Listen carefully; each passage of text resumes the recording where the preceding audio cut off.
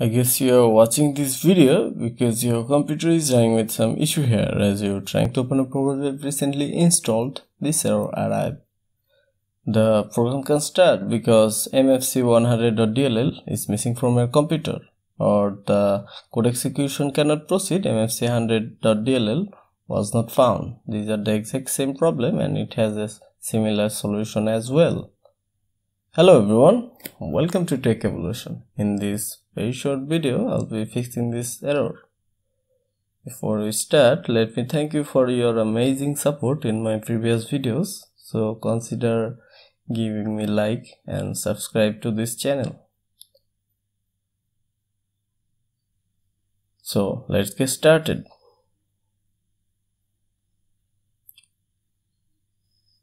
The first solution is to download the DLL and place it. In order to download the DLL, you need to go to your favorite browser, go to Google and search for mfc100.dll. You can choose any result you want. In this case, let's choose the first one. This video is not sponsored, but I'll put the link in the description.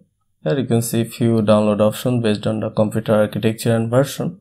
You don't know your computer architecture, click on start and search for system information. There you go, I need a 64-bit PC and I can see my Windows version as well. So in this case, I'll be choosing the first one.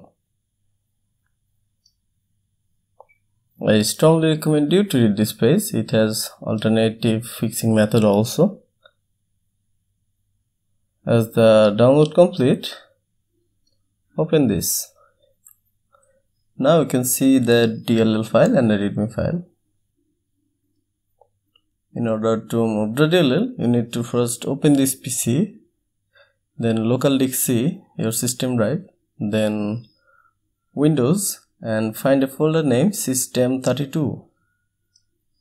Here it is, it is the home of 32-bit DLL files. Then click on the downloaded zip, drag the DLL and drop you can unzip it and do the same process. I've already done this so it is asking me to replace. Before we proceed let's check if the file is placed. By typing the file name you can see the file is placed in 32-bit folder. So job is done for 32-bit users. You can go and restart your computer. This is the summary of the process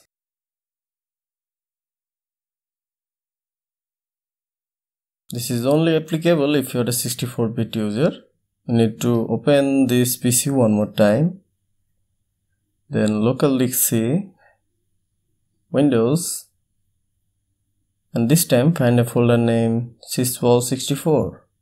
Here it is.